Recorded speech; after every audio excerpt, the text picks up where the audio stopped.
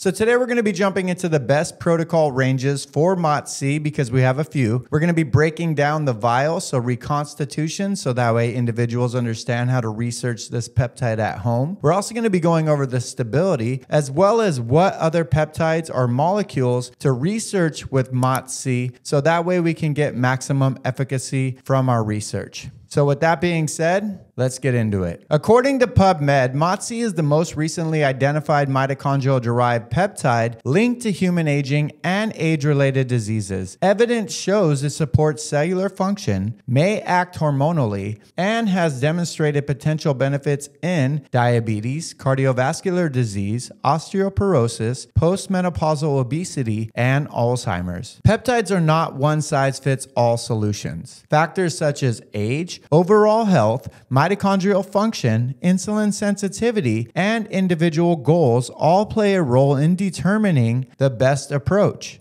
Now let's dive into some considerations with MOTS-c and effective protocols for peptide use. This is what's been reported, and I'm just going to start with the lowest dosage of MOTS-c all the way to the highest in research settings or clinical experiences. When considering dosage, some doctors and peptide circles suggest starting with one to three milligrams a few days a week to assess energy benefits and gauge individual responses. A daily dose of one milligram. Telegram. Users have reported positive energy effects. Some individuals start with one milligram and work their way up to see about reactions. Now let's jump into some practical protocols based off research settings and clinical experiences, okay? For general support of insulin sensitivity, energy levels, metabolism, and mitochondrial health, a dosage around three milligrams three times per week to see exact response of the patient or subject, and then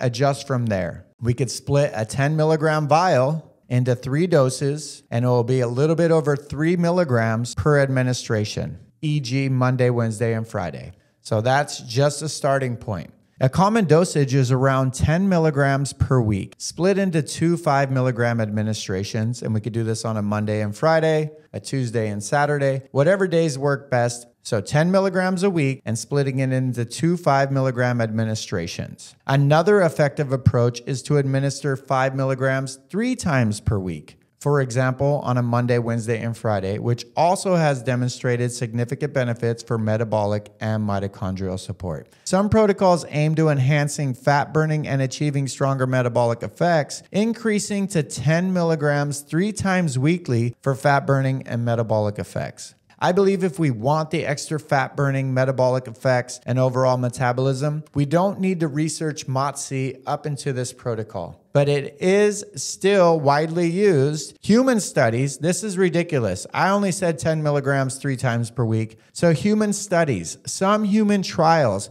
have gone with doses between 10 to 30 milligrams per day. At these higher ranges, increased heart rate or palpitations, injection site irritation, insomnia, or fever. All right, we're going to be going over the insomnia because MOTS-c should be researched in the morning or pre workout as it can give some people insomnia as it boosts your energy and your mitochondrial health, okay, function. It is important that the following protocols be consulted and monitored by a qualified professional. All right, now let's jump into reconstitution and stability. MOTS-c has been shown to have a little bit of a bite or stinging sensation or cause administration site reaction. So if we add a little bit more water per administration, then it can help dilute and hopefully mitigate this. And also, it really depends on the purity of the peptide. If we are researching or want to start with one milligram a day to see how this peptide responds, we could put in two ml and pull to the 40 mark five times. It's only one milligram a day, so I don't think it's going to be that potent. If we want to do three milligrams, what we're going to do is if we have a 10 milligram vial and we want to split it into three administrations, then the easiest thing we can do is add one and a half ml. So one ml plus a 0.5 or a half ml. If we draw to the 50 mark or 0.5 ml three times, that's going to give us three milligrams and 333 micrograms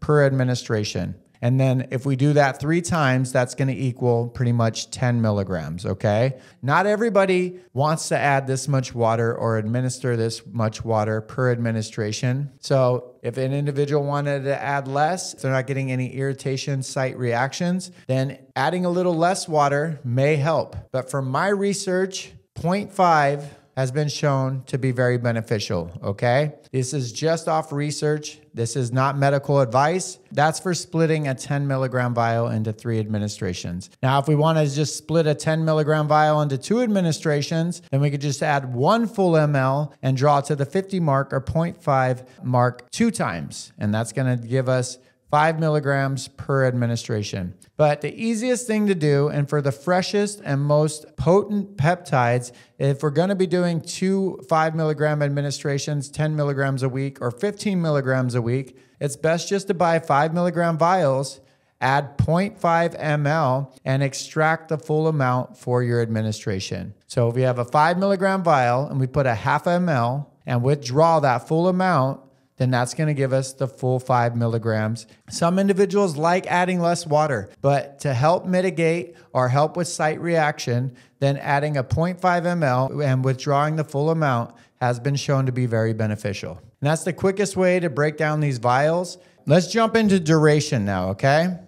So protocols typically run four to eight weeks depending on mitochondrial health and individual response followed by a 30 to 60 day break. All right, so not everybody's gonna get the best results at two weeks, 30 days. So individuals may need to research for six to eight weeks to be able to see the benefits from this. And the one thing that we need to know peptides work from the inside out. We're not seeing the energy or the mitochondrial response right away, just know these peptides are working from the inside out and may take a few times or a few cycles of researching these peptides to really get the maximum efficacy or the benefits that we want. Or we could use other peptides, which we're going to get into right now, to maybe enhance our MOTS-c research, okay? Some individuals or biohackers start researching SS31 for 20 to 30 days to help improve their mitochondrial health, as SS31 acts like a cellular cleanup crew, stabilizing cardiolipin, which in turn enhances the effectiveness of MOTS-c. Okay, so the necessity of SS31 varies depending on the severity of mitochondrial health issues. SS31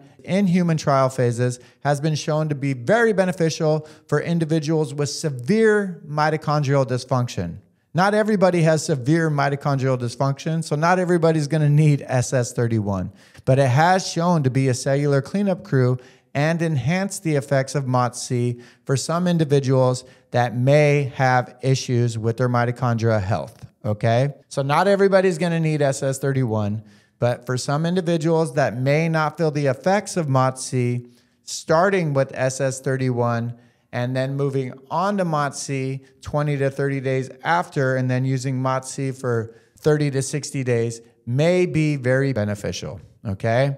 These are just ranges. Not everybody is the same, and not everybody's going to need to research SS31 and MOTS-c. Okay. Some individuals can just do MOTS-c and see excellent benefits. Check out this video right here if you guys are interested though in SS31 and want to know the protocol, best dosage, everything you need to know. This video is great, okay? In our downtime when we're not researching MOTS-c, then it is beneficial just to keep NAD in circulation either a couple times a week, once a week, a few times a month, whatever it may be, so that way we keep our mitochondria health up so that way, when we do research MOTS-c a couple times, a few times a year, it will be synergistic and complement it. So, timing and tolerability. Morning or pre workout is preferred, as late night administration may cause insomnia in some subjects. So, although MOTS-c has a short half life once in the body, in the vial, it remains stable for up to 30 days if refrigerated and handled properly. So there is a lot of misinformation saying that once we reconstitute MOTS-c, it renders useless or we cannot use it for a second administration. This is not true, okay? So if we have a 10 milligram vial and we want to split it into two or three administrations, and after we reconstitute it, we want to put it back in the fridge, it's going to remain perfectly stable. It's mainly after two to four weeks that peptides lose their potency and no longer will be that stable or that potent, okay? All right, so for doing those higher amounts, if anybody's researching any higher amounts, which I don't think we need because there's other incredible fat burning metabolic peptides out there because we can overstimulate our mitochondria too. So we have to be very careful. And you should always consult a professional for using higher amounts, okay? I believe it's best to start low, work your way up, see how your body reacts, and then adjust accordingly. That's important to note. So, this is Casey with Living Youthful. If my video has brought you guys value, please hit that like button, hit the subscribe button, and we'll see you in the next one. Thank you.